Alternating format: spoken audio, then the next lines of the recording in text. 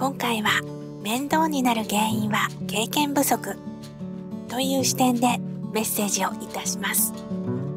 あなたにとって面倒なこととは何でしょうか？それらはあなたにとってストレスを与えるものとなっていませんか？日常は面倒なことだらけです。しかしあなたが面倒に感じることでも面倒とは思わない人もいます。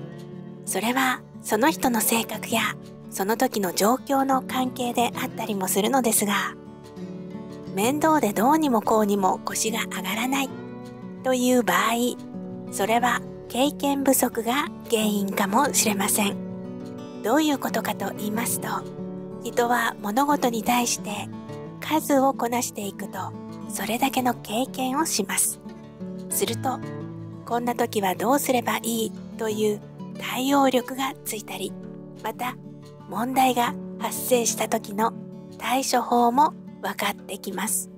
つまり物事に対するこなし方応用力がついてきます。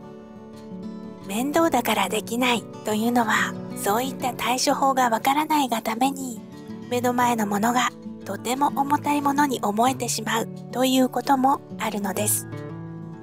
見方を変えれば面倒だと思ってもその数をこなして経験を積めば後々面倒になるのを避けることもできるのです。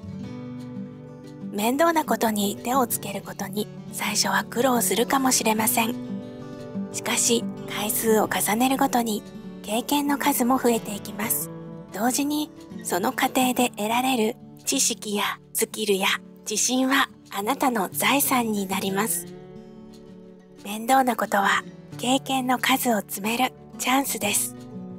今その目の前にある面倒だと思うこと。まずはやってみませんか？その一つの経験から新たな発見も生まれ目の前が開かれていくことでしょう。今回は面倒になる原因は経験不足という視点でお話をしました。